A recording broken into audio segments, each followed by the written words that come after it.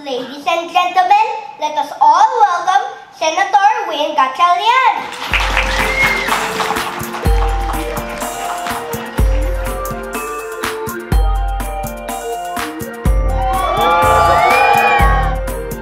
Prior to the pandemic, uh, almost 69% of our students cannot read or if they can read, cannot understand a simple story. After the pandemic, that 69% shot up to about 90%.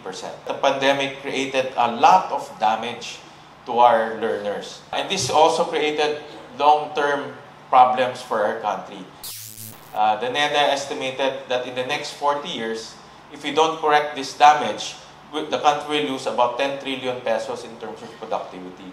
If a child cannot read, obviously the child might not finish college or will not finish high school, and that, that child will end up with low-paying jobs. If that child end ends up with low-paying jobs, the contribution to our economy in the long term is also very low. And this is where our bill, the Aral bill, comes in. We propose this measure.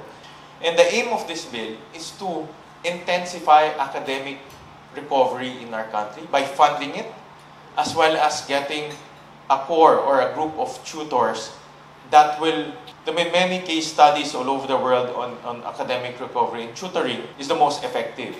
So in the bill, we authorize DepEd to get tutors. Tutors from senior high school. If you are a uh, proficient in reading as a senior high school, you can be a tutor.